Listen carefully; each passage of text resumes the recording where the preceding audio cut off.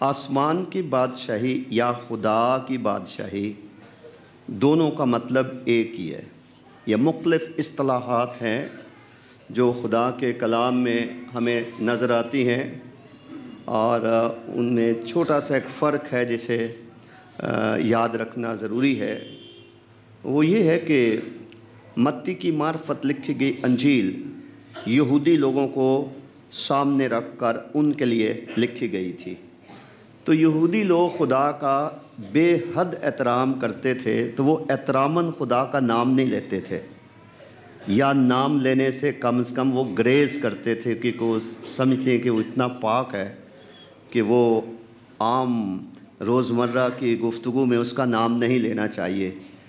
تو اس لیے متی رسول جب خدا کے روح کی ہدایت سے یسو مسیح کی انجیل لکھتے ہیں تو وہ خدا کی بادشاہی کے بجائے آسمان کی بادشاہی کی اصطلاح یا یہ الفاظ وہ استعمال کرتے ہیں۔ لیکن دونوں کا مطلب ایک ہی ہے۔ خدا کی بادشاہی پڑھا جائے یا کہا جائے یا آسمان کی بادشاہی۔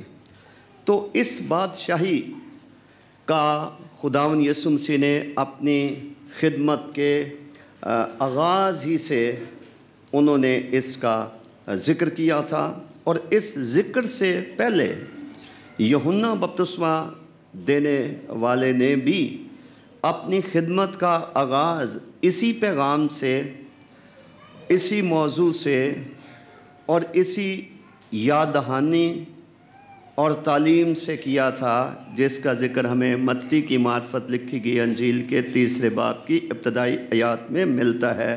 پہلی ہی آیت سے یوں لکھا ہے کہ ان دنوں میں یونا بپتسمہ دینے والا آیا اور یہودیہ کے بیابان میں یہ منادی کرنے لگا کہ توبہ کرو کیونکہ آسمان کی بادشاہی نزدیک آ گئی ہے۔ اس کے بعد چوتھے باب میں خداون یسو مسیح کی آزمائشوں کا ذکر ہے۔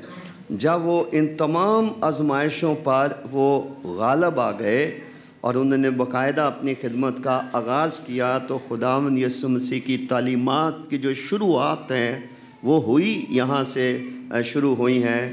یعنی متی کی انجیل کے چوتھے باپ کی سترویں آیت سے جہاں لکھا اور اس وقت سے یسو نے منادی کرنا اور یہ کہنا شروع کیا کہ توبہ کرو کیونکہ آسمان کی بادشاہی نزدیک آ گئی ہے۔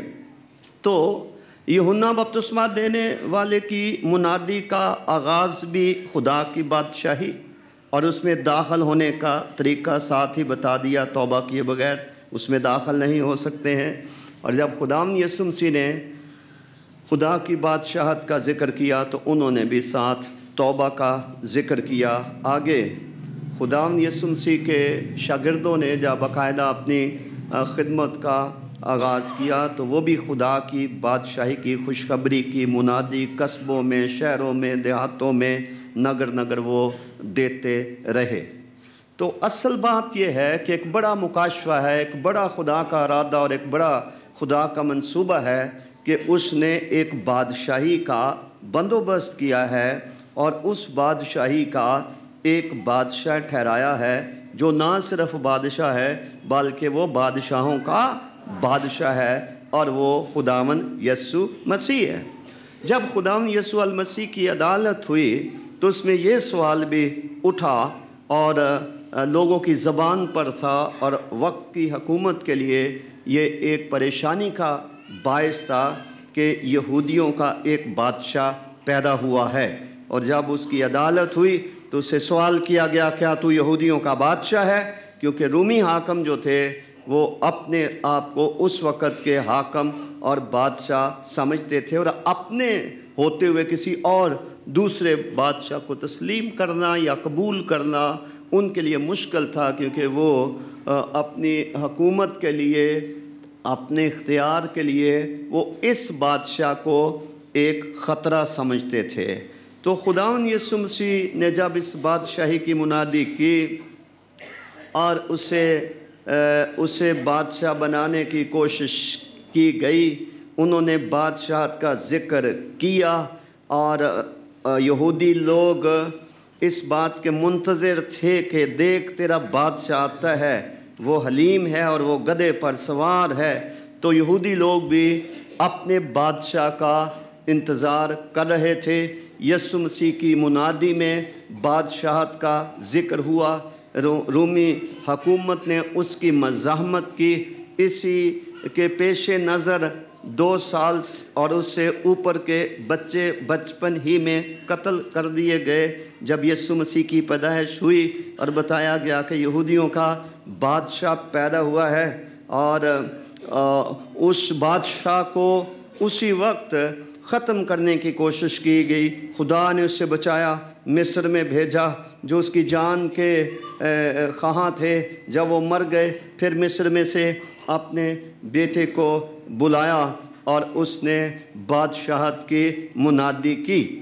لیکن اس وقت کے جو راست بازی کے بھوکے اور پیاسے لوگ تھے، ان میں سے شاز و نادر ہی کوئی لوگ خدا کی بادشاہی کو اس طرح سے سمجھتے تھے جس طرح سے خدا اس بادشاہی کو لانا چاہ رہا تھا۔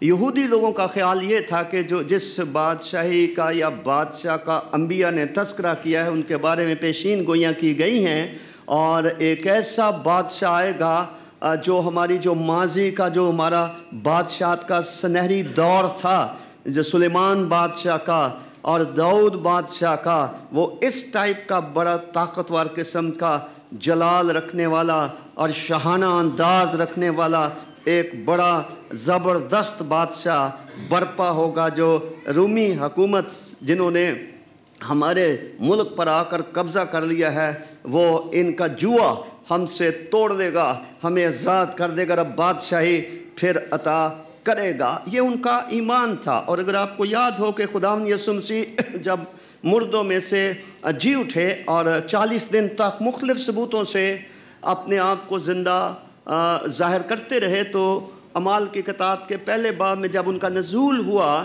تو شاگردوں نے اسے سوال کیا کہ کیا تو اسی سال بادشاہی اسرائیل کو پھر بادشاہی عطا کرے گا، تو انہوں نے نفی میں جواب دیا کہ جو جو اوقات، جو جو وقت خدا کے ارادے میں ہے، اس کے علم میں ہے، اس کی مرضی کے تحت ہیں، ان کو جاننا تمہارا کام نہیں ہے۔ تو وہ منتظر تھے ایک ایسے بادشاہ کے۔ اور یہ بادشاہ بھی ان کے لیے ٹھوکر کا باعث بھی بنا۔ اس لیے کہ جب خدا سمسی آئے تو وہ ایسا بادشاہ تھا جو غریب تھا، جس کی غربت کا اندازہ ہم یہاں سے لگا سکتے ہیں۔ جب انہوں نے اپنی زبان مبارک سے یہ فرمایا کہ لومبڑیوں کے تو بھٹ ہوتے اور ہوا کے پرندوں کے گھونسلے ہوتے ہیں، لیکن ابر آدم کے سر دھرنے کی بھی جگہ نہیں ہے۔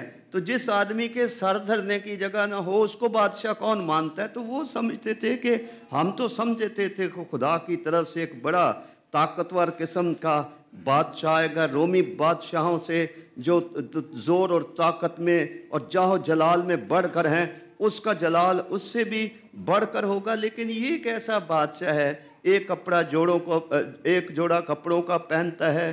غریب ہے، کوئی گھر نہیں، کوئی رہنے کی جگہ جگہ نہیں ہے۔ تو انہوں نے اس کے سبب سے ٹھوکر کھائی اور اس کو بادشاہ کی حیثیت سے انہوں نے قبول نہ کیا۔ پھر ایک ایسا موقع بھی آیا جس میں خدا یسومس نے تھوڑی سی وضاحت کی اس بات کی اور یہ کہہ کر کہ میری بادشاہی اس دنیا کی نہیں ہے۔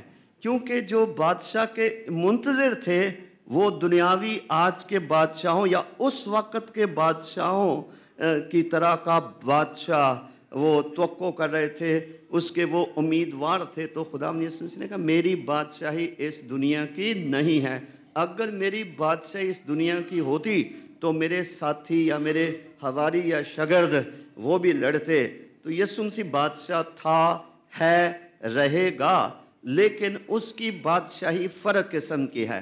اس کی بادشاہت روحانیت کی بادشاہت ہے۔ وہ روحانی عالم میں بھی بادشاہت کرتا ہے۔ اور مقادشہ کی کتاب کا پہلا باب پڑھیں تو آج کی جو دنیا کی حکومتیں ہیں وہ ان کے اوپر بھی بادشاہی کرتا ہے سلیب کا دکھ سہ کر اور مردوں میں سے زندہ ہو کر۔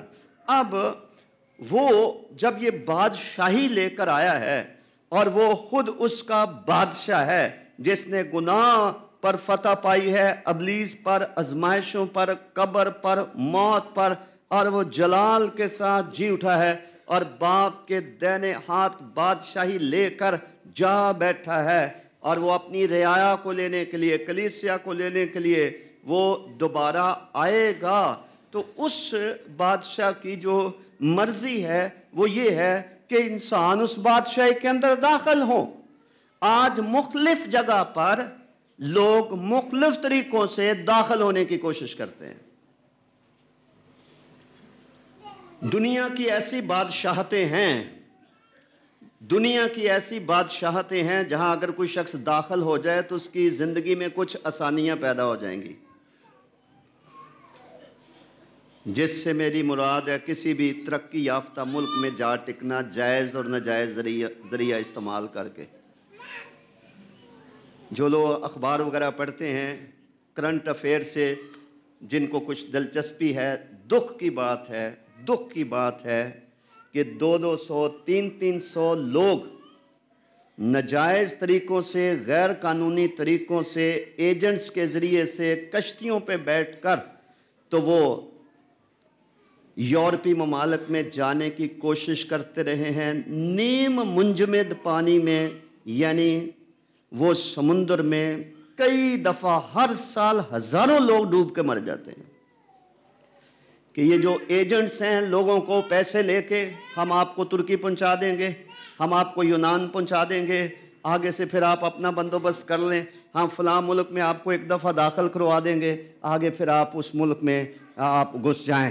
اور اس طرح سے یہ تارکین وطن، یہ وہ لوگ جو ایک روشن مستقبل کی تلاش میں ہوتے ہیں۔ اور اپنے پیچھے بیوی کو، ماں باپ کو، بہن بھائیوں کو ایسے وہ خواب دکھا جاتے ہیں اور اس طرح سے وہ کسی نہ کسی جگہ پر جہاں ان کو بہتر روشن، مستقبل نظر آتا ہے یا کم از کم کسی نے ان کو یہ سبز باغ دکھائے ہوتے ہیں، وہ بچارے پیسہ بھی خرچ کرتے ہیں اور اپنی جانوں سے بھی ہاتھ دھوتے ہیں۔ اخبارات پڑھیے، آپ کو پتہ چلے گا کہ ہر سال کتنے لوگ ہیں جن کی کشتیاں سمندر میں ڈوب جاتی ہیں اور وہ ہلاک ہو جاتی ہیں اور پیچھے ان کے پیارے جو ہیں وہ روتے ہیں۔ اور کہیں کہیں یہ واقعات بھی ہوئے ہیں کہ لوگوں نے پیسے لے لیے ہیں۔ ایسے لوگوں کو غیر قانونی طریقے سے کسی اور ملک میں داخل کرنے کے لیے انہوں نے سوار کر لیا ہے۔ لیکن انہوں نے سمندر میں ان پر فائرنگ کر کے اور ان کو ہلاک کر کے تو سمندر میں پھینک دیا ہے۔ یہ ظلم انسان انسان پر کرتا ہے۔ اور انسان کی بدبختی یہ ہے کہ جہاں خدا نے اس کو رکھا ہے، وہ شکر گزار نہیں ہے اور وہ روشن مستقبل کی تلاش میں جھوٹ بولنا ہو، جھوٹ بول کر کوئی اسیلیوں وغیرہ کسی جگہ پر لینی ہو اور جھوٹے جیلی پیپر تیار کرنے ہو اور کسی طریقے سے بھی وہ جب کامیاب ہو جاتا ہے، ایسے ممالک میں داخل ہونے کے لیے اور میں ایک غلط پکچر نہیں آپ کے سامنے کھینچنا چاہتا، جس جس جو میں نے ایسے لوگوں کی حالت ان بیرونی چاند ایک ممالک میں جہاں خدا نے مجھے جانے کا موقع دیا، جو میں نے ان کی حالت دیکھی ہے، میں یہاں نہیں بیان کرنا چاہتا۔ کہنا میں یہ چاہتا ہوں کہ ایک عظیم ترین جگہ ہے اور وہ خدا کی بادشاہی ہے۔ انسان اس کے اندر داخل ہونے کی اتنی کوشش نہیں کرتا جہاں مختلف اداروں میں مختلف ممالک میں، مختلف ایسی جگہوں میں وہ داخل ہونا اپنی فتح سمجھتا ہے اور اپنی ساری صلاحیتیں، اپنا روپیہ پیسہ اور اپنے سارے وسائل وہ ادھر جھونک دیتا ہے اور وہ سمجھتا ہے کہ شاید میں بہشت میں داخل ہو گیا ہوں۔ لیکن یاد رکھیے کہ خدا کے بیٹے کے آسمان کا جلال چھوڑ کر اس دنیا میں آنے کا بڑا مقصد انسان کو نجات دینا تھا، نجات کے بغیر کوئی شخص خدا کی بادشاہی میں داخل نہیں ہو سکتا ہے۔ اور اس کا طریقہ یہ بتایا گیا تھا کہ توبہ کی جائے، گناہوں کو چھوڑا جائے، اپنے کیے پر ولا کیا جائے، اور اور خدا کے حضور سچا اقرار کیا جائے تاکہ روحانی بادشاہت کے اندر انسان داخل ہو جائے۔ اور اس اس کا جو داخلہ ہے، آج کی مسیحی دنیا میں اس کے داخلے سے کلیسیا ناواقف ہے، بھولی بیٹھی ہے، اس کو اتنی سمجھ نہیں ہے، وہ دھندلا سا اس بات کو دیکھتی ہے۔ لوگ یہ سمجھتے ہیں کہ کسی نہ کسی چرچ میں عبادت کے لیے چلے جانا، کسی پادری صاحب کے جیب میں سو پچاس روپے ہدیہ دے دینا دے یقی دے دینا اور لگاتار کسی چرچ میں جانا۔ یہی سب کچھ ہے۔ آج کا پیغام یہ ہے، یہ سب کچھ نہیں ہے۔ کیوں؟ اس لیے کہ جس اچھی جگہ پر خدا ہمیں لے کر جانا چاہتا ہے، ابلیس ہماری آنکھیں بند کر کے ہمیں فریب دے کے، جیسے کرنتیوں کے خط میں لکھا ہے، فریب نہ کھاؤ، فریب نہ کھاؤ، حرام کار خدا کی بات سے کہ وارث نہ ہوں گے۔ تو فریب یہ ہے کہ باقی سب کچھ کرو، توبہ مت کرنا۔ ساری کلیسیا میں جو روحانیت کے جو آج علامات ہیں، وہ اپنے آپ سے ظاہر کرو، لیکن خدا کی بادشاہی میں داخل نہ ہونا۔ سب کچھ کر لو، مسیح کی تعلیم تعلیم کے جوئے میں اپنی گردن نہ دینا، یہ مشکل ہے۔ تمہیں بہت کچھ چھوڑنا پڑے گا۔ یہ تمہارے بس کا کام نہیں ہے۔ اور مسیح کی پیروی کرو، لیکن سلیب اٹھا کر نہ چلنا۔ ویسے ہی چلتے رہو، ویسے ہی چلتے رہو، اور اس چلنے کا کوئی فائدہ نہیں ہے۔ کیونکہ ترتیب یہ ہے، اگر کوئی میرے پیچھے آنا چاہے، ہر روز اپنی سلیب اٹھائے اور میرے پیچھے ہو لے۔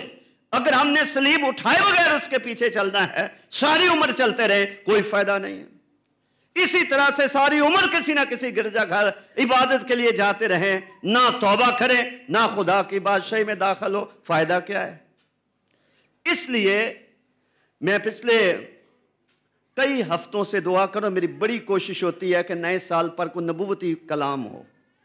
اور میں نے کل کئی گھنٹے دعا میں گزارے ہیں خدا کی آواز سننے کے لیے کہ خدا ہمیں کیا کہنا چاہتا ہے۔ اور ساری مشقت کے بعد یہ بات خدا نے میرے سامنے رکھی۔ خدا کی بادشاہی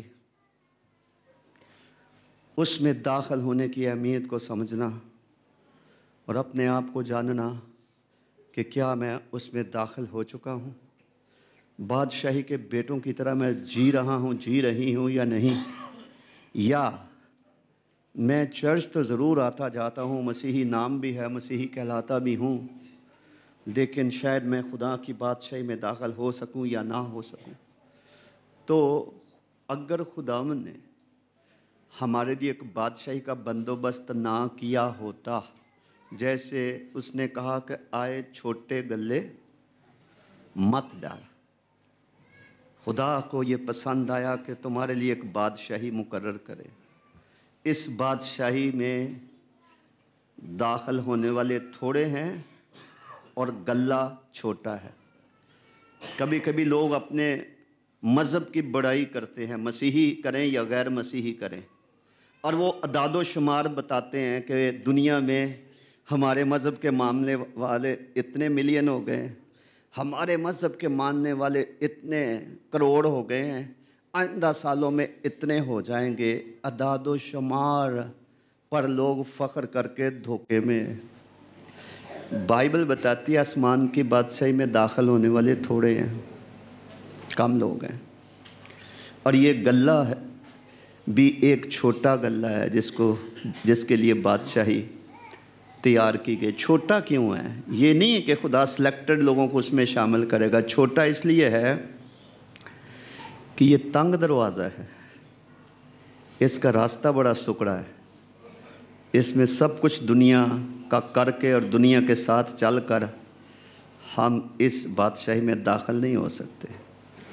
اس بادشاہت کے لیے کچھ نہ کچھ چھوڑنا ہے۔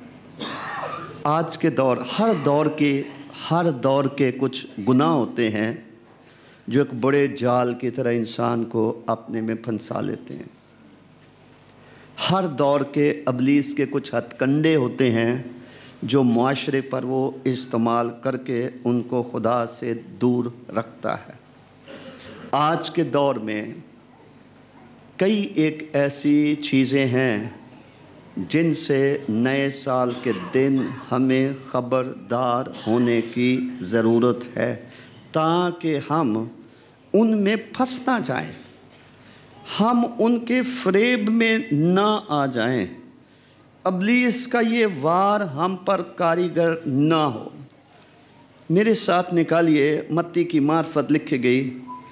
ہمارے خداون یسو مسیح کی انجیل، اس کا انیسواں باب اور اس کی سولہویں آیت سے میں خدا کا کلام آپ کے سامنے پڑھنے کو ہوں۔ Matthew chapter nineteen commencing from verse sixteen onward to twenty four اور ٹوینٹی فائیو انیس باپ کی سولہویں آیت میں لکھا ہے، اور دیکھو ایک شخص نے پاس آ کر اس سے کہا ہے استاد، میں کون سی نیکی کروں تاکہ ہمیشہ کی زندگی پاؤں؟ اس نے اس سے کہا، تو مجھ سے نیکی کی بات کیوں پوچھتا ہے؟ نیک تو ایک ہی ہے، لیکن اگر تو زندگی میں داخل ہونا چاہتا ہے تو حکموں پر عمل کر۔ اس نے اس سے کہا کون سے حکموں پر؟ یسو نے کہا یہ کہ خون نہ کر، زنا نہ کر، چوری نہ کر، جھوٹی گواہی نہ دے، اپنے باپ کی اور ماں کی عزت کر اپنے پڑوسی سے۔ اپنی مانند محبت رکھ۔ اس جوان نے اس سے کہا، میں نے ان سب پر عمل کیا ہے، اب مجھ میں کس بات کی کمی؟ ہے یسو نے اس سے کہا، اگر تو کامل ہونا چاہتا ہے تو جا۔ اپنا مال اسباب بیچ کر غریبوں کو دے۔ تجھے آسمان پر خزانہ ملے گا اور آ کر میرے پیچھے ہو لے۔ مگر وہ جوان یہ بات سن کر غمگین ہو کر چلا گیا کیونکہ بڑا مالدار تھا۔ اور یسو نے اپنے شاگردوں سے کہا، میں تم سے سچ کہتا ہوں کہ دولت مند کا آسمان کی بادشاہی میں داخل ہونا اور پھر تم سے کہتا ہوں۔ کہ اونٹ کا سوئی کے ناکے میں سے نکل جانا اس سے آسان ہے کہ دولت مند خدا کی بادشاہی میں داخل ہو۔ اس کا مطلب یہ ہوا کہ آج کی دنیا میں روپے پیسے کا پیار، دولت مند بننے کی خواہش، اور اس کے حصول کے لیے جائز اور ناجائز طریقے استعمال کرنا۔ کتنے شرم کی بات ہے کہ بڑے بڑے اعلیٰ عہدے پر لوگ جیلی ڈگریاں لے کے بیٹھے ہوئے ہیں۔ اسمبلی تک لوگ پکڑے گئے ابھی تک پکڑے جا رہے ہیں۔ روپیہ پیسہ ایک بڑا جال ہے۔ ایک طرف خدا خود مہیا کرتا ہے اور برکت کے طور پر روپیہ پیسہ دیتا اور ہماری ضروریات افراد سے پوری کرتا ہے۔ دوسری طرف روپیہ، پیسہ اتنا خطرناک بھی ہے کہ بہت سارے لوگ صرف اسی کی وجہ سے خدا کی بات سے سے باہر رہیں گے۔ روپے، پیسے کا پیار۔ اور اس پیار کا ثبوت کیا ہے؟ اپنے روپے، پیسے میں سے کسی کو نہ دینا۔ اپنے روپے، پیسہ، اپنی برکت کسی کے ساتھ شیئر نہ کرنا۔ کیونکہ جس کی کمزوری ہوتی ہے، جو روپے پیسے کا غلام ہوتا ہے، جو روپے پیسے کو دولت ہی کو اپنا خدا سمجھتا ہے، جس کا اسرار بھروسہ اور آسر امید اور توکل روپے پیسے پر ہی ہوتا ہے، تو وہ اسی کو اپنا خدا اور بت بنا کر پوجتا رہتا ہے۔ یہ شخص بھی ہم سے زیادہ روحانی ہوگا جو یسو مسیح سے ملا تھا، کیونکہ جو شریعت پر عمل کرتا تھا۔ لیکن جہاں روپے پیسے کی بات آئی اور اسے تنگ راستہ بتایا گیا، اور تنگ راستہ یہ بتایا گیا کہ اپنا مال اسباب بیچ کر غریبوں کو دے، تجھ کو آسمان پہ خزانہ ملے گا۔ لکھا غمگین ہو کے چلا گیا۔ کیوں؟ پیار غریب سے نہیں تھا، دولت سے تھا۔ پیار خدا کے ساتھ نہیں تھا، زیادہ دولت کے ساتھ تھا۔ اور اتنی بڑی پیشکش کو ٹکرا کر رد کر کے غمگین ہو کر چلا گیا۔ بائبل میں اور خصوصاً انا جھیل میں جب بھی ایک بات دو دفعہ کہی جاتی ہے، وہ دو دفعہ کہے جانے کی وجہ سے اس کی اہمیت کو بڑھاتی ہے کہ یہ بات کتنی غور طلب ہے، کتنا اس پر غور کرنے کی ضرورت ہے۔ تو پھر یسو نے اپنے شاگردوں سے کہا کہ دولت مند کا آسمان کی بادشاہی میں داخل ہونا مشکل ہے۔ یہی کہہ دیتے تو ان کی زبان نے مبارک سے لکھا ہوا ہماری نصیحت کے لیے کافی تھا۔ وہ یہ کہہ دیتے کہ دولت مند کا آسمان کی بادشاہی میں داخل ہونا مشکل ہے۔ لیکن اس بات کی اہمیت کو اجاگر کرتے ہوئے انہوں نے یہ کہا کہ اونٹ کا سوئی کے ناکے میں سے ایک محاورہ محاورتاً استعمال ہوا کہ اس میں سے اونٹ کا سوئی کے ناکے میں سے گزرنا آسان ہے۔ بنسبت اس کے کہ جو شخص خدا سے بڑھ کر دولت کو پیار کرتا ہے، وہ خدا کی بادشاہی میں داخل ہو۔ ہمارے بہت سارے گناہ دولت کے ساتھ منسلک ہیں۔ حرام کی کمائی کے ساتھ ہو سکتے ہیں۔ رشوت کے ساتھ ہو سکتے ہیں۔ بد دیانتی کے ساتھ ہو سکتے ہیں۔ کسی سے پیسے لے کے اس کے پیسے واپس نہ کرنا، قرض نہ چکانا، ٹھیک ہے؟ عیاشی کے ساتھ بھی یہ منسلک ہے۔ آگے ہم بتاؤں گا کس طرح عیاش بھی خدا کی بادشاہ کے وارث نہیں ہوں گے۔ جیب میں پیسہ نہیں ہے، لوگوں سے پیسے مانگ مونگ کے تو برتھ ڈیز کر لیے، شادیاں رچا لی اور بہت بہت کچھ کر لیا اور ساری عمر ہوتے رہے۔ خود نمائی۔ میں نہیں سمجھتا کہ کوئی شخص بھی خدا پرست کہلا سکتا ہے۔ جس جس نے ابھی دولت کے پیار سے چھٹکارا حاصل نہیں کیا۔ دلچسپ بات ہے کہ ابتدائی کلیسیا کے لوگ جب اپنی جائیدادیں بیچتے تھے اور بھاری ہدیہ جات خدا کے کام کے لیے لاتے تھے، تو وہ لا کر رسولوں کے پاؤں میں رکھتے تھے۔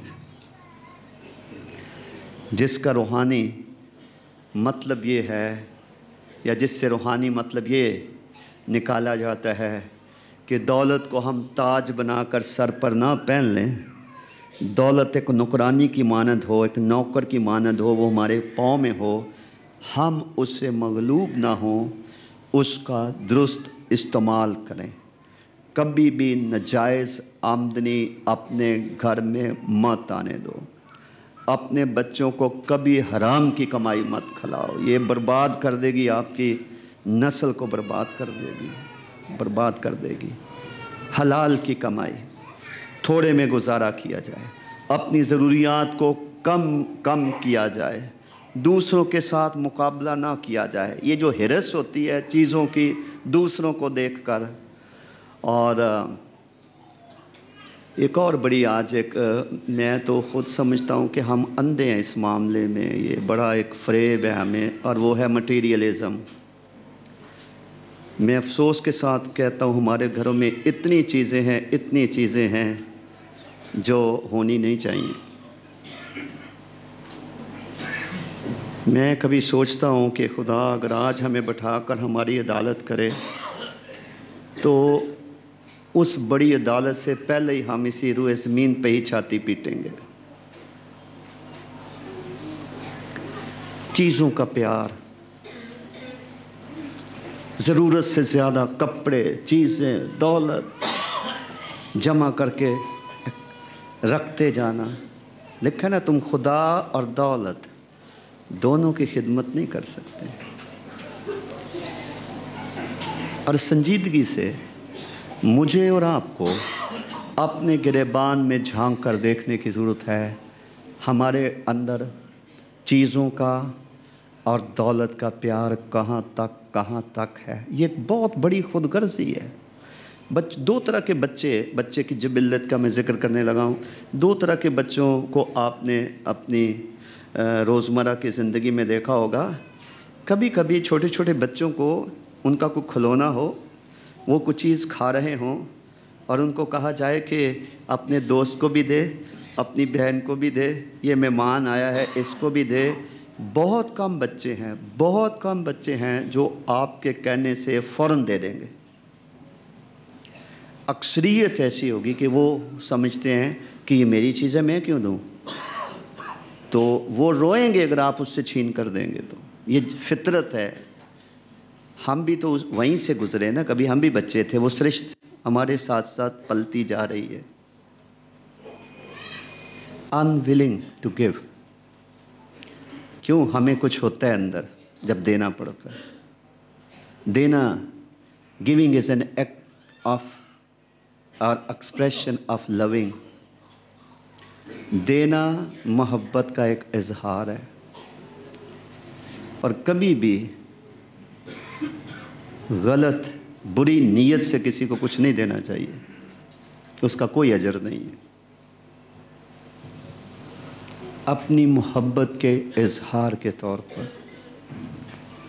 تو خدا یسمسی نے کہا، دولت مند کا آسمان کی بادشاہی میں داخل ہونا مشکل ہے مشکل ہے۔ یہ نہیں لکھا کہ ناممکن ہے، مشکل ہے۔ کئی سال پہلے اس ونگ میں پاسٹر ہاؤس ہوا کرتا تھا۔ تو مجھے کسی آدمی نے، کسی خادم نے فون کیا کہ ہمارے ایک مشنری ہیں میاں بیوی، تو وہ انڈیا آ رہے ہیں، تو ہم نے آپ کا اس کو ایڈریس دیا ہے، وہ آپ کے پاس آئیں گے۔ ان کو آپ نے رکھنا ہے۔ تو میں نے ان کو کہا کہ ٹھیک ہے، وہ آئیں، ضرور آئیں۔ یہاں گھر ہوتا تھا تو ایک میاں بیوی آ گئے۔ اتنا سا ان کے پاس بکس تھا امریکن تھے میاں بیوی۔ چھوٹا سا ٹیچی کیس جیسا تھا۔ اس میں کوئی ایک ایک جوڑا کپڑوں کا اور ایک مچھردانی اور ایک دری۔ وہ ہمارے گھر آ گئے۔ تو پہلے تو ہم دیکھ کے حیران ہوئے کہ یہ امریکن ہے۔ تو یہ اتنا سا سوٹ کے سا لے کے آ گئے ہیں؟ اور مچھردانی رات کو کھول لی۔ ہم نے کہاں سونا ہے تو تو ہم نے ان کو پوچھا، ہماری پہلی دفعہ ملاقات ہوئی تھی۔ وہ جو آدمی تھے، وہ امریکہ میں، ناسا میں، وہ کسی بہت بڑے عہدے پہ تھے وہ آدمی۔ اس کے ساتھ خدا نے کلام کیا۔ خدمت کے لیے بلایا تو بڑا امیر آدمی تھا۔ تو اس نے کیا کیا کہ اس نے اپنا سارا روپیہ، پیسہ جو بھی اس کے جمع پونجی تھی، اس نے مشنری کام کے لیے دے دی، انڈیا کا ٹکٹ لے کر اور دو دو جوڑے کپڑے لے کر تو وہ میاں بیوی ہمارے پاس ادھر آ گئے۔ ہمارے پاس ایک ہی کمرہ ہوتا تھا تو ہم نے اپنا بیڈ روم خالی کر کے ان کو دے دیا۔ آپ ادھر لیٹ جائیں تو ہم کسی جگہ آپ کو گدا یا دری نیچے ڈال کے تو لیٹ گئے۔ تو وہ عورت جو تھی وہ لٹرلی رو پڑی۔ اس نے کہا کہ ہم ہم نے تو ایک خاکساری کی زندگی جو ہے وہ شروع کی ہے اور آپ نے ہمیں بادشاہوں کی طرح اپنا بیڈ روم دے دیا ہے تو آپ نے ہمیں وہاں سلایا ہے۔ تو ہم نے اسی تناظر میں ان کی گواہی سنی۔ پھر ہم نے کہا کہ آپ کے بچے کہاں ہیں؟ آپ دونوں کب سے آپ کی شادی ہوئی؟ بچوں کو آپ کہاں چھوڑ آئے ہیں؟ کہنے لگے ہمارے بچے نہیں ہیں۔ ہم نے کہا اچھا چلے، ہم نے کہا، شاید خدا نے ان کو اولاد نہیں دی ہوئی۔ انہوں نے کہا کہ ہم نے بچے اس لیے نہیں پیدا کیے کہ ہم بچوں کے جھنجھٹ میں پڑھ کر تو ہم اپنی خدمت میں رکاوٹ نہیں پڑھنے دینا چاہتے تھے۔ ہم چاہتے تھے کہ ہم آزاد رہ کر تو خدا ان کی خدمت کریں۔ تو ہم بڑے حیران ہوئے کہ کتنے ایسے لوگ ہیں، کتنے ایسے لوگ ہیں جنہوں نے اس جہان میں، جس میں خاص طور پر رومن کیتھلک چرچ کی اگر آپ ہسٹری پڑھیں ہائیلی ایجوکیٹڈ ہائیلی رچ بڑے بڑے امیر خاندانوں کے چشم و چراغ جو تھے، انہوں نے اپنی ساری جائیدادیں خدا کے کام پر لگا کے تو وہ فادر بن گئے، سادھو بن گئے، مناد بن گئے۔ اور اس لیے میں کہہ رہا ہوں کہ یہ نہیں لکھا کہ دولت مند کا خدا کی بادشاہی میں داخل ہونا ناممکن ہے، لکھا ہے مشکل ہے۔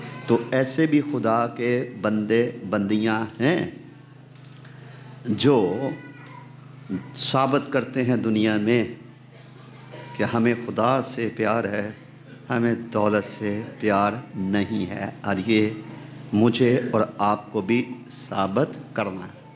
میں ایک دفعہ ایک ٹریننگ کر رہا تھا سنگاپور میں اور میں حیران ہوا ایک بڑے بزنس مین کے بارے میں سن کر۔ کہ وہ اپنی آمدنی کا نوے فیصد دے کے طور پر دیتے ہیں۔ میں نے کہا، ہمارے چرچز میں تو بترے لوگ ہیں، وہ وہ ہے بھی ٹھگ ہیں چرچ میں، وہ تو پوری دہی کی نہیں دیتے ہیں۔ یہ کیسا آدمی ہے جو اتنی بڑی ملٹی نیشنل کمپنی کا مالک ہے۔ نوے فیصد خدا کے کام کے لیے جاتا ہے، ٹین پرسنٹ اپنی ضروریات کے لیے۔ میں نے پہلی دفعہ سنا میں نے کہ ایسے بھی لوگ دنیا کے اندر ہیں جو ثابت کر سکتے ہیں کہ ہم دنیا کے نہیں، ہم دنیا میں سے چن لیے گئے ہیں۔ ہم خداون کے لوگ ہیں۔ ہم اس کی تعلیمات پر ہم ایمان رکھنے والے لوگ ہیں۔ اور میں یہ سمجھتا ہوں کہ آج جس دور میں ہم جی رہے ہیں، یہ ماضی کے دور سے بھی، دولت کے حوالے سے یہ خطرناک خطرناک دور ہے، جس میں کلیسیائیں، جس میں ایماندار اور جس میں خادم۔ پیسے سے مغلوب ہو کے سچ نہیں بولیں گے۔ پیسے کی خاطر خدا کا کام پر بات کر دیں گے، پیٹ کی خاطر۔ چرچ میں پھوٹ ڈلوا دیں گے۔ تو بہت متعت ہونے کی ضرورت ہے۔ کیونکہ ہم بلائے گئے ہیں اسمان کی بادشاہی میں داخل ہونے کے لیے۔ اور ہر وہ چیز جو ہمیں داخل ہونے سے روکتی ہے، پیچھے کھینچتی ہے، یا ہمیں نا اہل قرار دلواتی ہے، اس سے ہمیں بچنے کی ضرورت ہے۔ دولت کا پیار۔ کیوں؟ آج جس دنیا میں جی رہے ہیں، اس کی جو عیاشی ہے، اس کی جو رنگ رلیاں ہیں، یہ پیسے کے بغیر وہ وہ ہم پوری نہیں کر سکتے، اس میں شریک نہیں ہو سکتے۔ ہر جگہ پیسہ چاہیے، ہر جگہ پیسہ چاہیے۔ تو اس لیے بہنوں، بھائیوں، خدا کا کلام ہمیں یاد دلاتا ہے کہ ہمیں دولت کے فریب سے بچنا ہے۔ کبھی بھی ہمارا فوکس خدا سے ہٹ کر روپے، پیسے اور چیزوں کی طرف نہ چلا جائے۔ ہم اپنے سارے دل، اپنی ساری جان، اپنی ساری عقل اور اپنی ساری طاقت سے خدا سے پیار کریں، پیسہ آپ کے پیچھے چل کر آئے گا۔ خدا ہمیں محتاج نہیں رہنے دے گا۔ وہ اپنے جلال کی دولت کے موافق مسیح یسو میں ہماری ہر ایک احتیاج رفع کرے گا، ضروریات پوری کرے گا، عیاشی کرانے کا خدا نے وعدہ نہیں کیا ہے۔ عیش پرستی کا اس نے وعدہ نہیں کیا ہے۔ سو دولت دولت کے فریب سے بچنا ہے۔ یہ دولت کا فریب ہی ہے جو اس بیج کی مانت ہے جو کہاں پر گرا تھا؟ جھاڑیوں میں گرا تھا۔ آسمان کی بادشاہی ٹھیک ہے؟ ایسا بھی جو جھاڑیوں میں گرا اور جھاڑیوں نے وہ اگا ضرور، لیکن جھاڑیوں نے اس کو کیا کر دیا؟ دبا دیا، بڑھنے نہیں دیا۔ کتنے مسیحی ہیں جو چرچس میں بیس بیس، تیس تیس، چالیس چالیس سال سے عبادت کے لیے آ رہے ہوں گے، نہ کو خدا کی خدمت، نہ کو کردار میں پختگی، نہ باطنی انسانیت میں اس کو زور آور، نہ کو اچھی جلالی گواہی۔ اس لیے کہ جھاڑیاں بڑھ کر جس میں دنیا کی چیزوں کی فکر اور دولت کا فریب۔ یہ شامل ہے جو اس بیج کو بڑھنے نہیں دیتا ہے۔ کئی طرح کے حیران کن کام، حیران کن فیصلے انسان کرتا ہے اور اپنے آپ کو، اور اگر شادی شدہ ہے تو بیوی بچوں کو بھی طرح طرح کے غموں سے چھلنی کر دیتا ہے۔ صرف پیسے کے لیے پیسہ آئے گا، پھر سب کچھ ٹھیک ہو جائے گا اور پھر گھر میں ڈھیروں خوشیاں آ جائیں گی۔ یہ نہیں معلوم کہ آنسو آئیں گے۔ فکر آئے گی اور اس طرح سے ہم فریب میں آ کر تو ہم پچھتائیں گے کہ میں نے ایسا قدم کیوں اٹھایا؟ میں نے یہ فیصلہ کیوں کیا؟ اور اس غلطی سے بہت ساری مشکلات کا ہمیں سامنا کرنا پڑے گا۔ کرنتھس کی کلیسیا کو خط لکھتے ہوئے چھٹے باپ کی نویں اور دسویں آیات میں گیارہ باتوں کا پولوس ذکر کر رہا ہے۔ اور اس آئینے میں ہمیں بھی اپنے آپ کو جاننے کی ضرورت میں وقت بچانے کا حوالہ نہیں پڑھوں گا، چیزیں میں نے لکھی ہوئی ہیں یہاں پہ۔ گیارہ بارہ چیزیں وہاں لکھا ہے فریب نہ کھاؤ۔ بدکار خدا کی بادشاہی کے وارث نہیں ہوں گے۔ نہ حرام کار ہوں گے اور نہ بت پرست ہوں گے۔ نہ زنے کار ہوں گے، نہ عیاش ہوں گے۔ نہ لونڈے باز ہوں گے، نہ چور ہوں گے۔ نہ لالچی ہوں گے، نہ شرابی ہوں گے۔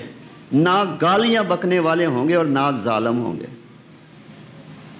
اب یہ جو گیارہ گناہ لکھے ہوئے جن کے بارے میں لکھا یہ نہیں یہ نہیں داخل ہو سکتے خدا کی بات سے۔ اور میں نہیں کہہ رہا بائبل میں لکھا۔ اس میں ممکن ہے کہ ہم حرام کار نہ ہوں۔ ممکن ہے کہ ہم رومیوں اور کرنتھیوں اور ینانیوں کی طرح ہم کسی بت کی پوجا نہ کر رہے ہوں۔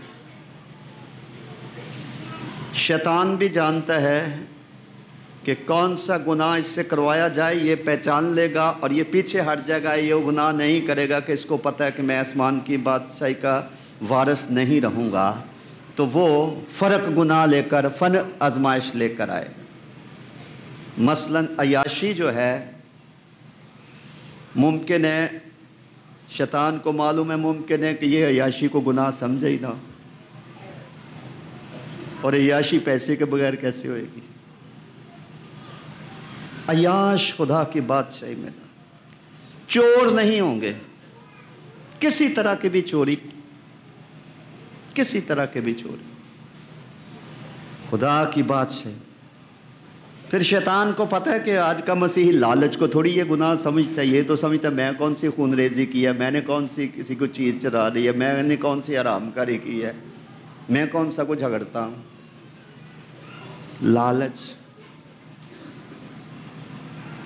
دوسروں کی چیزوں کا لالچ، دوسروں کی حیثیت کا لالچ اور کسی دوسرے کے جسم کا لالچ۔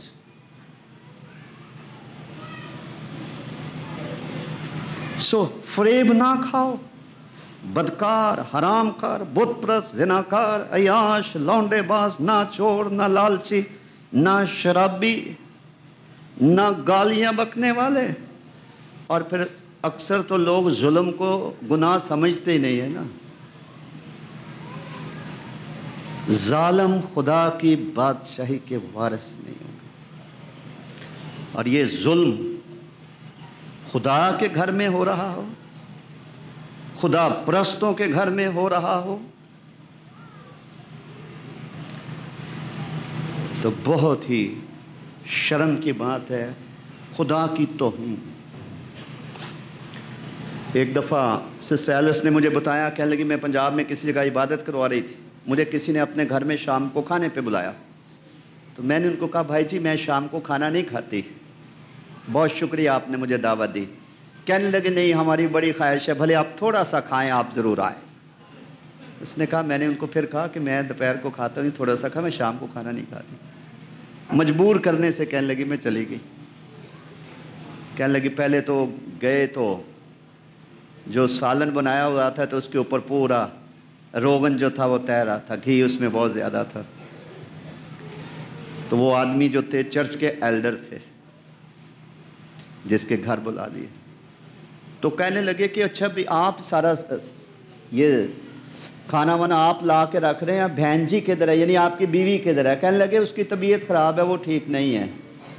تو اس لیے میں ہی آپ کو کھانا کھلاؤں گا۔ سسٹیلس نے کہا، کسی چرچ کے ممبر نے آ کے میرے کان میں کہا کہ یہ ایلڈر اتنا ظالم اس نے اپنی بیوی کو اتنا مارا اتنا مارا کہ اس کی ٹانگ میں فریکچر ہو گیا، ٹانگ ٹوٹ گئی ہے، تو بستر پہ پڑی ہوئی ہے۔ کیسے کیسے ڈرامے ہیں جو چرچز کے اندر ہوتے ہیں۔ میں کہتا ہوں کہ خدا کا سامنا ایسے انسان کیسے کرے؟ سسٹر ایلس نے کہا، میرا اتنا میرا دل نہ کرے، میں کسی چیز کو ہاتھ لگاؤں. چرچ میں کیا ہے، گھر میں کیا ہے؟ کیونکہ ابلیس کو پتا ہے کہ یہ ظلم کو کوئی گناہ نہیں سمجھتے۔ ظالم خدا کی بادشاہی کا وارث نہ ہوگا اور پھر آگے چل کر ہم دیکھتے ہیں کہ جو جسم کے کام بتائے گئے تھے غلطیوں اس کے چھٹے بات کی انیسویں آیت سے شروع کر کے غالباً کو انیس قسم کے گناہ بتائے گئے ہیں۔ جن کے اندر ہوں وہ خدا کے بادشاہ میں نہیں جائیں گے۔ اور وہ کیا وہاں لکھا ہے، حرام کار، ناپاک، شہوت پرستی کرنے والے، جادوگر، جادوگروں کے پاس جانے والے۔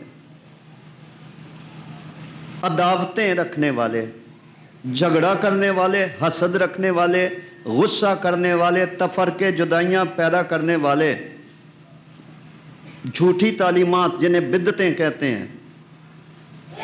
بدتی گروہوں میں شامل ہو کر خدا کی بادشاہی میں داخل ہونے کے امید رکھنے والے۔ اور پھر نشہ باز۔ پھر بغض رکھنے والے۔ پھر ناچ رنگ، ڈانس، پارٹیاں۔ فلمیں۔ لکھا ہے اور اور ان کی مانند، جو ماڈرن طریقے ہیں آج دنیا کے۔ ان کو پسند کرنے والے، وہ خدا کی بادشاہی میں داخل نہیں ہوئے۔ ابھی جو حوالہ میں نے آپ کے سامنے پڑھا تھا، وہاں پر بھی سادہ الفاظ میں تنبیہ اور یاد دہانی ہے۔ جو مجھ سے آئے خداون آئے خداون کہتے ہیں، ان میں سے ہر ایک آسمان کی بادشاہی میں داخل نہیں ہوگا۔ وہی ہوگا جو میری، میرے عثمانی باپ کی مرضی پر چلتا ہے۔ خدا کی مرضی پر چلنا، خدا کی مرضی کے مطابق زندگی بسر کرنا سب کچھ تو اسی میں ہے۔ مسیح کی کامیاب خدمت کا تو انحصار بھی اسی بات پر تھا کہ بیٹا دنیا میں اس لیے نہیں آیا کہ اپنی مرضی پوری کرے۔ بلکہ اس لیے آیا کہ اپنے بھیجنے والے کی مرضی پوری کرے۔ تو اس کا مطلب یہ ہوا کہ اگر خدا کی بادشاہی میں داخل ہونے کا انحصار اس بات پر ہے کہ ہم خدا کی مرضی پر چلیں۔ تو کتنا ضروری ہے کہ اپنی روزمرہ کی زندگی میں ہم اس بات کو جانچتے ہوئے زندگی بسر کریں، کیا میں کوئی سفر خدا کی مرضی سے کر رہا ہوں؟ میں نے جو راستہ اختیار کیا ہے، کیا یہ خدا کی مرضی کے موافق ہوگا؟ کیا میرا یہ جو پیشہ میں اختیار کرنا چاہتا ہوں، کیا خدا کی مرضی اس میں ہوگی؟ میں فلاں شہر یا فلاں ملک میں جانا چاہتا ہوں، کیا یہ خدا کی مرضی ہے؟ میں فلاں شخص کو اپنا جیون ساتھی بنانا چاہتا ہوں کس حد تک یہ خدا کی مرضی ہو سکتی ہے۔ چھوٹی بات ہے، معنی بہت گہرے ہیں۔ خدا کی مرضی کے مطابق چلنا۔ اور میں آج آپ کو یاد دلاؤں کہ جب بھی کسی کی موت ہوتی ہے، لوگ اچھی سے اچھی آیات ڈھونڈ کر ان کی قبر پہ لکھواتے ہیں۔ کئی تو پہلے بتا جاتے ہیں کہ میں مر جاؤں تو یہ لکھوانا۔ اور کئی پھر کو اچھی سی آیت چن کے تو ان کی قبر پہ لکھوا دیتے میں کہتا ہوں کہ کسی مرنے والے شخص کی قبر پر اگر یہ لکھ دیا جائے کہ یہ وہ شخص ہے جو خداون کی مرضی کے تابعہ رہ کے سو گیا۔ بہت بڑی بات ہے۔ اس دنیا میں اپنی پوشاک کی حفاظت کرنا دنیا داری کے چھینٹے اپنے اوپر نہ پڑنے دینا۔ اپنا دامن بچا کر رکھنا۔ کسی بات میں خدا کی مرضی سے باہر نہ چلے جانا۔ اس کی مرضی کے سانچے میں ڈھلنا۔ اور یہ تہیا کر کے زندگی بسر کرنا۔ آسمان اور زمین ٹل جائیں۔ کتنا بھی مجھے نقصان کیوں نہ ہو جائے۔ سارا جہان میرا دشمن کیوں نہ ہو جائے۔ میں کوئی کام خدا کی مرضی کے خلاف نہیں کروں گی۔ نہیں کروں گا۔ اور جب ہم مریں اور ہماری قبروں پہ یہ ایک ہی جملہ لکھا ہو، فلاں شخص آج خداون کی مرضی کے تابعہ رہ کے سو گیا یا خداون کے آرام میں داخل ہو گیا، تو یہ کتنی کتنی بڑی بات ہے۔ اور یہ ہم کہاں سے سیکھتے ہیں؟ خداون یسو مسیح کی زندگی کے نمونے سے۔ انہوں نے کہا، بیٹا اپنے آپ سے کچھ نہیں کر سکتا۔ بیٹا اپنے آپ سے کچھ نہیں کرتا۔ بیٹا اس لیے نہیں آیا، اپنی مرضی پوری کرے۔ اس لیے آیا ہے کہ اپنے بھیجنے والے کی مرضی پوری کرے۔ اگر آپ چاہتے ہیں، میں چاہتا ہوں کہ ہم پاکستان میں چراغوں کی مانت دکھائی دیں۔ ہر مسیحی ہر مسیحی جہاں پر بھی ہے، اگر وہ خداون کی مرضی کے مطابق اپنا جیون ڈھالتا جاتا ہے، کلام کے مطابق جینے کی صحیح کرتا ہے، کوشش کرتا ہے، جانف شانی کرتا ہے اور وہ چل کر دکھاتا ہے خدا کی مرضی کے مطابق زندگی بسر کر کے دکھاتا ہے۔ اس ملک میں رہ کر، اس معاشرے میں رہ کر وہ چراغوں کی معنی دکھائی دے سکتا ہے۔ نہ صرف وہ چراغوں کی معنی دکھائی دے سکتا ہے، وہ پہاڑ پر بسے ہوئے شہر کی مانند دور سے منفرد شخص کے طور پر، منفرد خاندان کے طور پر نظر آئے گا کہ اس دنیا میں دیکھیے، آج ایسے لوگ بھی ہیں جن کے اندر سے روشنی نکلتی ہے۔ یہ وہ لوگ ہیں جو کبھی اندھیرے میں بیٹھے ہوئے تھے، لیکن ان کے اوپر عالم بالا کا آفتاب طلوع ہوا۔ جس نے ان کو منور کیا، جس نے کہا، دنیا کا نور میں ہوں، اگر کوئی میری پیروی کرے گا اندھیرے میں نہ چلے گا، بلکہ زندگی کا نور پائے گا۔ تو لہٰذا جب ہمارا بلائے جانے کا، مسیحی ایمان کو قبول کرنے کا، مسیح کا اس دنیا میں آ کر دکھ سہنے کا مقصد یہ ہے کہ بہتوں کو جلال میں داخل کرے بہتوں کو آسمان کی بادشاہی میں داخل کرے، جو توبہ کرنے سے انسان داخل ہو سکتا ہے۔ تو اگر ہم اسی میں داخل نہ ہو سکے، تو ہمارا سب کچھ جو ایک مذہبی شخص دنیا میں رہ کر کرتا ہے، بھلے وہ فقیحوں اور فریسیوں ہی کی طرح کرے، وہ کس کام کا آئے گا، ہوگا؟ اسی لیے تو، اس لیے تو یہاں پر لکھا ہے کہ اس وقت میں ان سے کہہ دوں گا، میں ان سے کہہ دوں گا کہ میری تم سے کبھی بھی واقفیت نہ تھی۔ آئے بدکارو۔ مسیح کے الفاظ میں وہ بدکار ہیں، لیکن وہ کس چیز کے امیدوار ہیں؟ کہ ہم بھی خدا کی بادشاہی میں داخل ہوں گے۔ ہم بھی مسیح کے آسمان پر سے ظاہر ہونے کے منتظر اور مشتاق ہیں۔ لیکن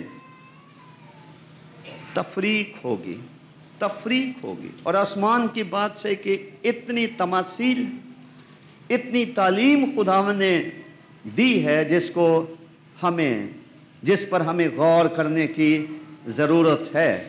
جیسے لکھے آسمان کی بادشاہی اس کھیت میں چھپے ہوئے خزانے کی ماند ہے، جسے کسی آدمی نے پا کر چھپا دیا اور خوشی کے مارے جا کر جو کچھ اس کا تھا بیچ ڈالا اور اس کھیت کو مول لے لیا۔ آسمان کی بادشاہی اس کھیت میں چھپے ہوئے خزانے کی مانند ہے۔ آج مسیحی زندگی اور خدمت کا معیار بہت گر گیا ہے۔ دنیا نے اس کو آسان راستہ تلاش کر لیا ہے۔ جو فائدہ ہو، یہ فائدے کی زندگی تھوڑی ہے۔ یہ تو بیچ کر اپنی چیزیں بیچ کر، اپنا مستقبل، خدا کے سپرد کر کے اس خزانے کو حاصل کر لینا۔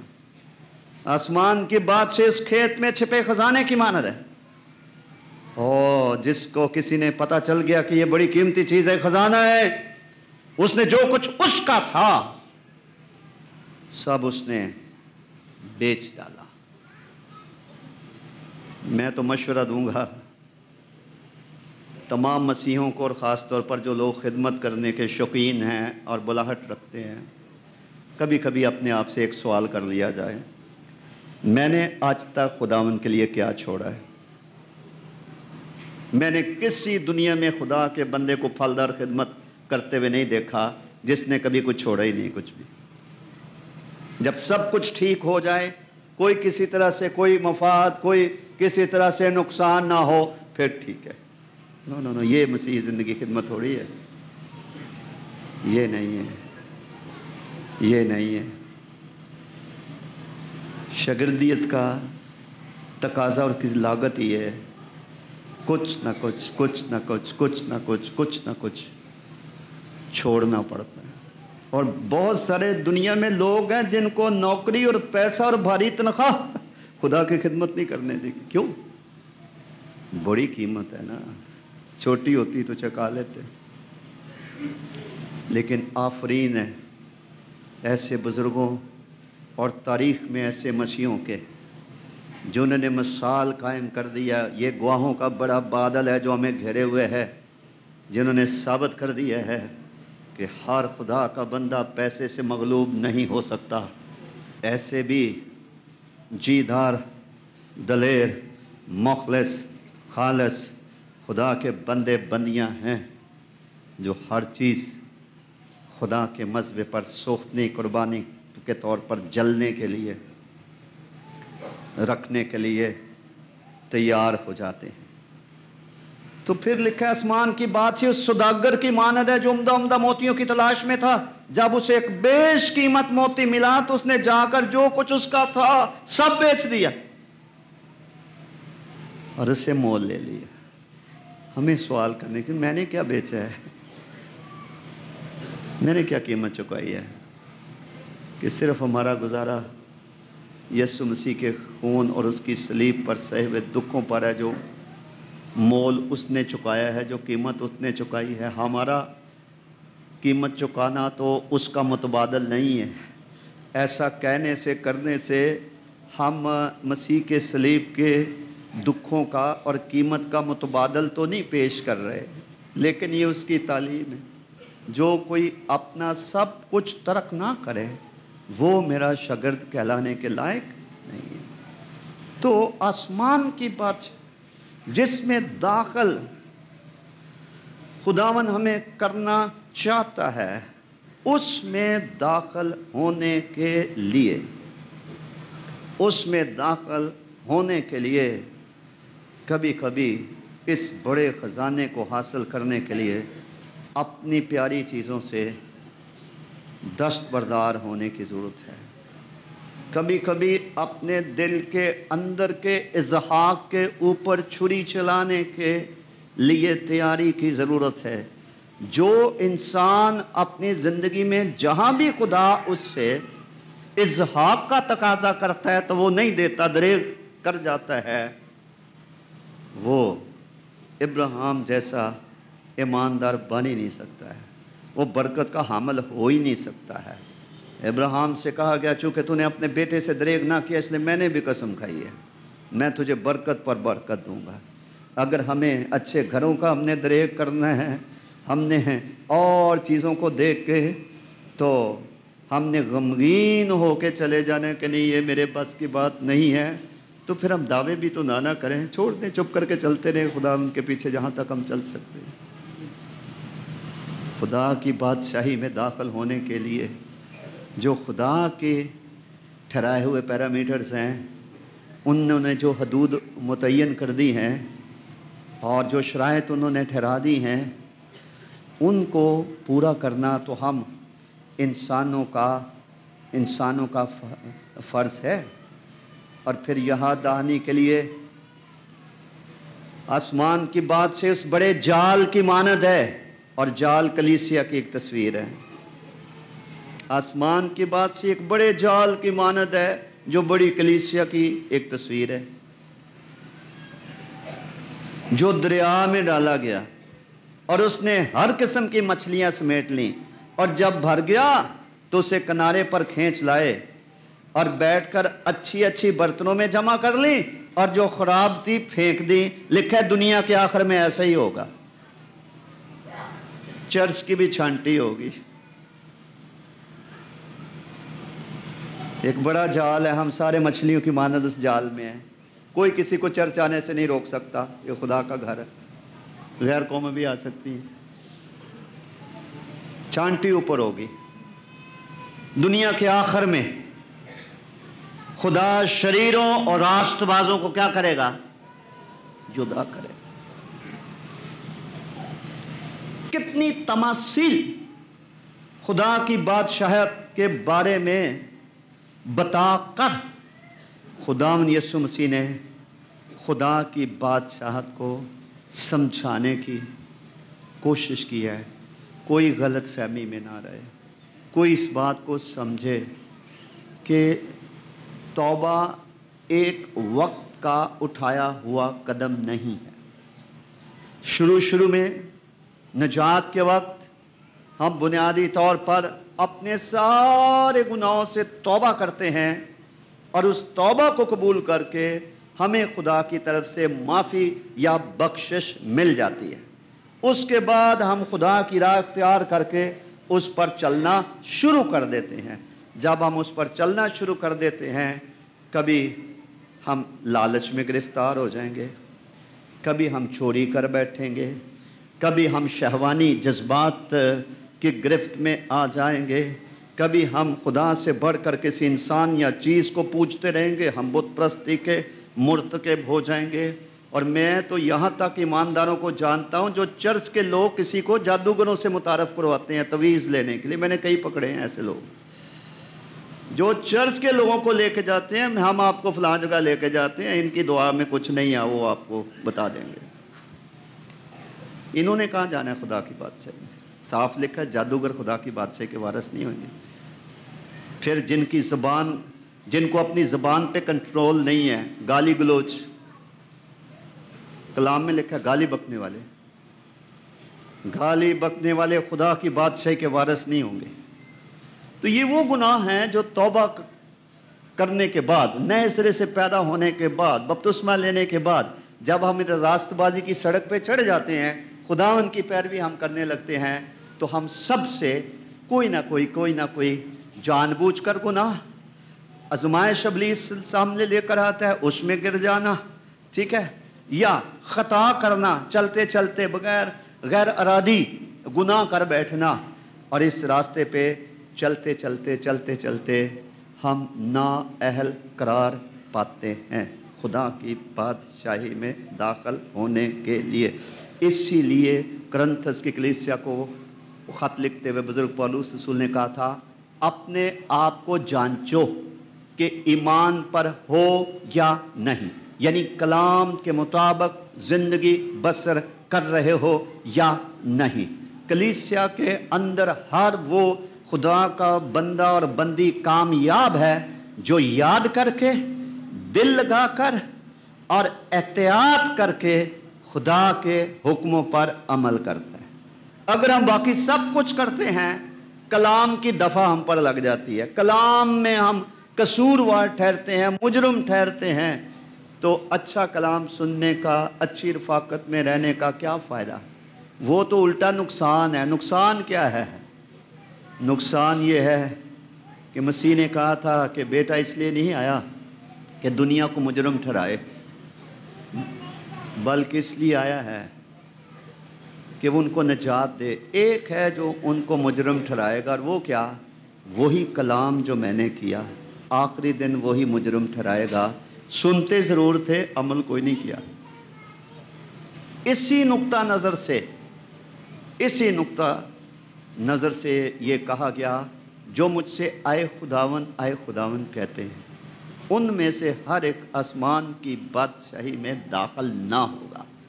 وہی ہوگا جو میرے آسمانی باپ کی مرضی پر چلتا ہے۔ آج کا دن ہمارے لیے اس لیے خوش آئند ہے کہ ہم نئے سال میں داخل ہو رہے ہیں۔ ساری دنیا میں آتش بازی کے ذریعے سے، ڈانس پارٹیز کے ذریعے سے عبادات کرنے کے ذریعے سے، حمد و ثنا کرنے کے ذریعے سے، دعوتیں کرنے، تحائف کا تبادلہ کرنے کے ذریعے سے لوگ نئے سال میں داخل ہونے کی خوشیاں منا رہے ہیں۔ یہ سال پھر بھی آ جائے گا۔ دو ہزار بیس بھی خدا نے چاہا تمہاری زندگی میں، اس میں بھی ہم داخل ہو جائیں گے۔ اصل بات کیا ہے؟ خدا کی بادشاہی میں بھی داخل ہوں گے کہ نہیں؟ اگر دو ہزار انیس میں دو چیزیں ہو سکتی ہیں، یا تو خداوند آ جائے، جس کا ہمیں نہیں معلوم۔ خدا سے دو ہزار پچیس تک بھی نہ آئے، ہم نہیں کہہ سکتے۔ لیکن اگر تصور کر لیا جائے، اگر دو ہزار انیس میں وہ آ جائے، ہم کہاں ہوں گے؟ لکھا میں اس وقت انہیں کہہ دوں گا، اے بدکارو میرے سامنے سے دور ہو جاؤ۔ میری کبھی تم سے واقعی نہیں۔ وہ کہیں گے، ہم چرچاتے رہے ہیں، چندہ ہم دیتے رہے، شاعر بانی ہم بانٹتے رہے، اس میں ہم شریک ہوتے رہے۔ آج آپ کہہ رہے ہیں، یہی صورت ہونی ہے۔ اور دوسرا کام یہ ہو سکتا ہے کہ اگر ان تمام پیاروں کی طرح جو دو ہزار اٹھارہ میں اپنی زندگیوں سے ہاتھ دھو بیٹھے اور خدا میں سو چکے ہیں۔ اگر دو ہزار انیس میں ہماری، ہمارا بھی بلاوا آ گیا، ہم اس دنیا میں زندہ نہ رہے تو پھر کیا آئے گا؟ کہاں جانا ہے ہم؟ تو اس لیے بہنوں بھائیوں، جہاں ہمیں خوشی ہے، جہاں ہم شکر گزار ہیں اور رات کو ہم نے شکر گزاری کی عبادت یہاں پر کی ہے کہ اس پاک خدا کی مدد سے ہم نئے سال میں داخل ہو گئے ہیں، وہاں اس سے بھی بڑی شکر گزاری یہ ہے کہ ہم خدا کی بادشاہی میں داخل ہیں۔ اور جب بھی خداون آ گیا یا ہماری موت کا پروانہ آ گیا تو ہم خدا کی بادشاہی میں داخل ہوں گے۔ تو یہ اہم اہم بات ہے۔ اور توبہ کیے بغیر یہ خام خیالی ہوگی، یہ غلط فہمی ہوگی، یہ ایک فریب ہوگا کہ ہم خدا کے کلام سے ہٹ کر زندگیاں بسر کرتے جا رہے ہوں۔ اور ساتھ ساتھ ہم اس بات کے بھی امیدوار ہوں۔ کہ ہم بھی آسمان پر اٹھائے جائیں گے اور ہوا میں اڑ کر خدام کا استقبال کریں گے۔ اس کے لیے دو ہفتے پہلے بھی خدام نے ہمارے ساتھ کلام کیا تھا کہ ہم ہر اس بوجھ کو اور گناہ کو جو آسانی سے ہمیں الجھا لیتا ہے، اپنے سے دور کر کے اس دوڑ میں صبر سے دوڑیں جو ہمیں درپیش ہے۔ تو اگر کوئی ایسی باتیں ہماری زندگی میں ہیں اس سے پیشتر کے ہمیں شہربانی میں شریک ہوں۔ جو خدا کا روح ہمارے قائل کرتا ہے کہ یہ بات تیری زندگی میں درست نہیں ہے، جس سے تجھے چھوڑنے کی ضرورت ہے، چھٹکارے کی ضرورت ہے، باز آنے کی ضرورت ہے، پیچھے ہٹ جانے کی ضرورت ہے۔ اپنے رویے، اپنے فیصلے پر نظر ثانی، اپنے اٹھائے گئے قدم اور چناؤ پر نظر ثانی کرنے کی ضرورت ہے۔ اگر چار پیسے یا اگر کوئی انسان ہمیں خدا کی بادشاہی سے بار رکھے گا، رکھ سکتا ہے، تو کتنا گھاٹے کا سودا ہم کر رہے ہوں گے۔ ہر بات میں خدا کو اول درجہ دینا، اس کو اپنے دلوں میں مقدم جاننا۔ چلے ہم کسی ترقی یافتہ ملک میں نہیں جا سکے، تو کوئی بات نہیں۔ جنہوں نے یہ ملک دیکھے ان کو پتہ ہے کہ وہ بہشت نہیں ہے۔ جنہوں نے یہ سمجھ لیا کہ وہ کوئی کسی ترقی یافتہ ملک چلے جائے، وہ بہشت میں چلا جائے گا، وہاں کا دوزخ وہی جانتے ہیں جنہوں نے دیکھا ہوا ہے۔